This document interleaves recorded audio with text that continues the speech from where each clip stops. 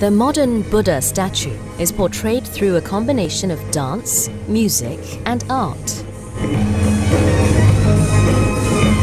문화가 수용되고 유입되고 그러면서 우리의 모습이 뭔가 변형되고 그 속에서 어떤 어, 우리의 어, 정체성 이런 것들에 대한 어, 이야기를 찾아보려고 이 작품을 하게 됐습니다.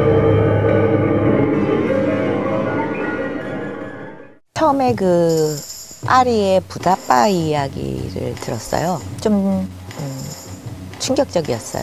거기에서 어떤 라운지 음악을 만들고 또 그것이 어떤 컨템포러리의 어, 형식으로 새로운 개념으로 들어왔을 때 과연 우리는 전통을 어떻게 바라볼 것인가